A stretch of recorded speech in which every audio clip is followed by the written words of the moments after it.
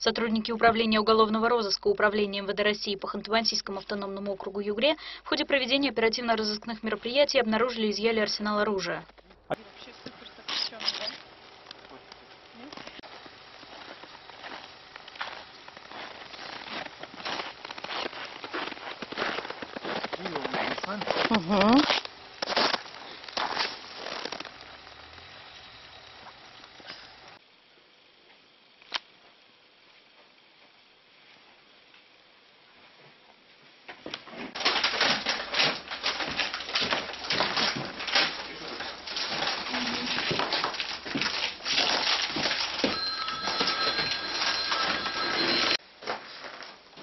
супер запрещенный, да? Это 18 да, ТГшка?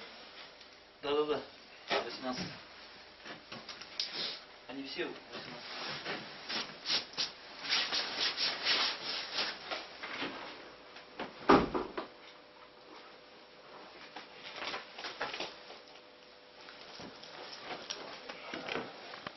Оперативниками была получена информация о том, что на территории одного из гаражных комплексов города Кагалыма находится схрон с оружием. В ходе проведенного осмотра было обнаружено и изъято 5 автоматов Калашникова, 3 противотанковых гранатомета РПГ, ручной пулемет Калашникова и 2 снайперские винтовки СВД.